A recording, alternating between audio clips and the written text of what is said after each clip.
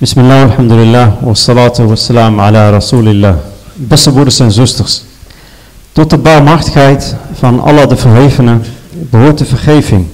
En met de geboorte van Adam a.s., de eerste mens, ontstond ook de vergeving. En het behoort tot de menselijke aard om fouten te plegen en zondes te begaan. Maar er is altijd de, maar er is altijd de mogelijkheid om berouw te betonen en Allah subhanahu wa ta'ala om vergeving te vragen.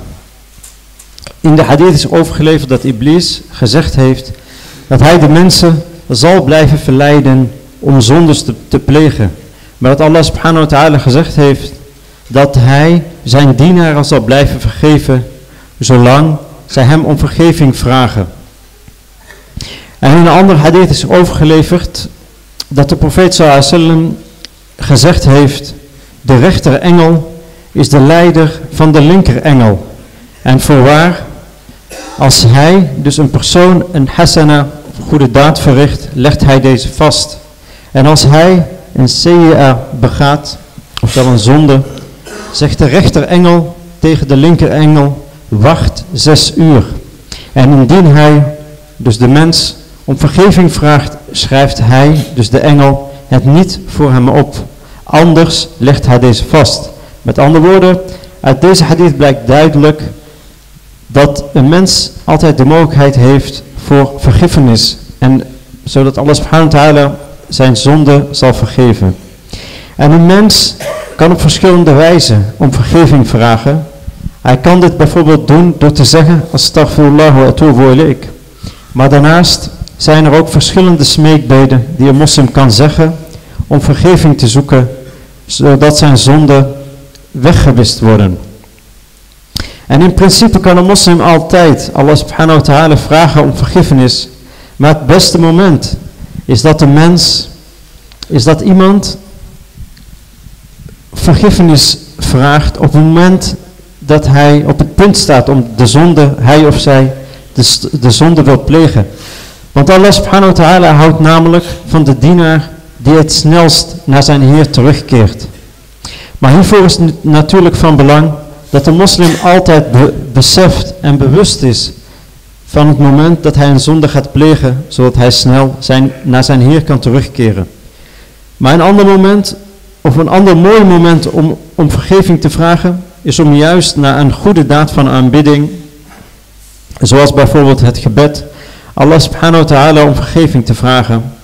En zo was de profeet, vrede zijn met hem, gewend om in, om in gezelschap Allah subhanahu wa ta'ala om vergeving te vragen. En verschillende metgezellen hebben overgeleverd dat de profeet, dat de profeet sallallahu gewend was om deze vergiffenis of vergeving meer dan 70 of 100 keer te vragen. En kijk hier, wie om vergeving vraagt. De profeet, vrede zijn met hem, die wist dat zijn voorgaande en zijn toekomstige misstappen hem vergeven waren. Maar wie zijn wij dan? Dat wij niet dagelijks om deze vergiffenis vragen. En een ander hadith is overgeleverd dat verschillende mensen bij de profeet, vrede zijn met hem, kwamen klagen vanwege droogte, geen opbrengsten van de aarde, geen nageslacht en armoede. En dat de profeet, vrede, vrede zijn met hem, elk van hen het advies gaf om Allah subhanahu wa ta'ala om vergeving te vragen. Dus daarom, beste broeder en zuster, vraag Allah subhanahu wa ta'ala om vergeving. Want uit deze hadith blijkt duidelijk dat de profeet vrede zijn met hem, ongeacht de oorzaak van het, van het probleem, de mensen hetzelfde advies gaf, namelijk om Allah subhanahu wa ta'ala om vergiffenis te vragen. En het hart van een mens kan vervuilen en deze vervuiling gebeurt door het plegen van zonde. En in de hadith is dan ook overgeleverd dat de profeet, vrede zij met hem gezegd heeft, indien de dienaar een zonde pleegt, verschijnt er een zwarte plek op zijn hart. En als hij dan naar vergiffenis zoekt, wordt deze plek verwijderd. En indien hij dan wederkeert naar deze zonde, zal de plek wederkeren en groeien tot zijn hele hart zwart wordt.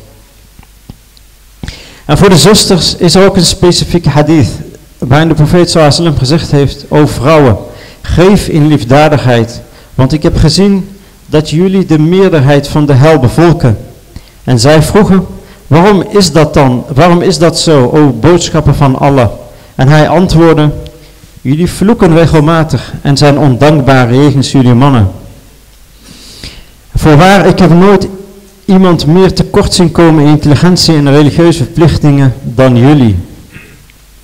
En deze hadith laat dus duidelijk zien waarin de profeet sallam de vrouwen ook specifiek heeft, heeft opgedragen om in liefdadigheid te geven. En in een andere hadith is overgeleverd, Allah de Almachtige zegt, o zoon van Adam, zolang je mij aanroept en mij vraagt, zal ik je vergeven voor wat je gedaan hebt en zal ik er geen bezwaar tegen hebben. O, o zoon van Adam, al rijken je zonde tot de wolken in de lucht, als je mij om vergeving vraagt, zal ik je vergeven. O zoon van Adam, als je tot mij komt met zonde, bijna zo groot als de aarde, en je komt tot mij zonder deelgenoten aan mij toe te schrijven, dan zou ik je vergeving schenken, bijna zo groot als de aarde. En dan volgen hier een aantal mededelingen.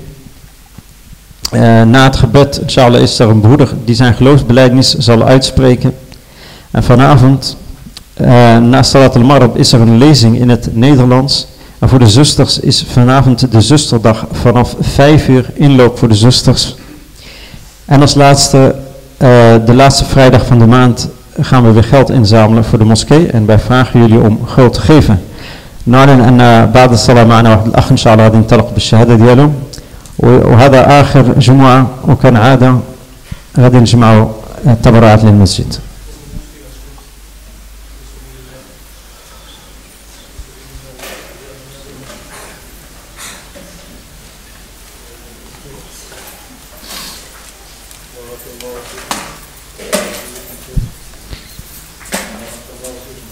وبالنسبة للنساء نهار الأحد إن شاء الله راه كاين درس باللغة العربية. آه كي ندرس باللغة العربية من السته الفوق ومن بعد الدرس الأولاني تاعنا من السنازخ إن شاء الله.